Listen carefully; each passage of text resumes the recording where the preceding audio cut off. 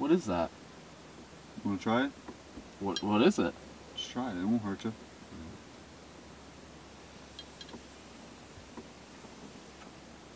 Ugh, I don't like that. Ugh. Come on, man. You gotta hit it again. See if you like it. Ugh.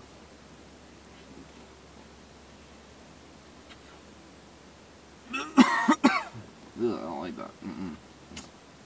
Ugh, what is that? It won't hurt you. You just gotta keep hitting it. You gotta try it till you like it. You sure? I'm sure.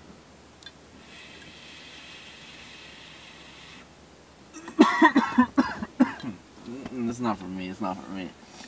Ugh. Oh, I don't. I have the worst headache. I don't feel good. Here, man. Hit this. It'll take it away. All right, thank you.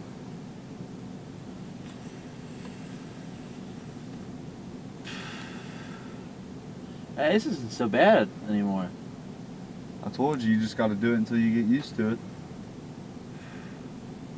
How much are these? They're not too bad.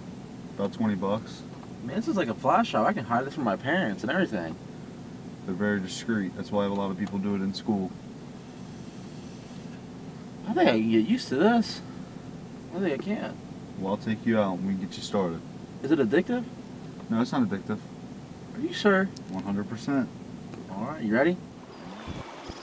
Why? Why would you take that first hit?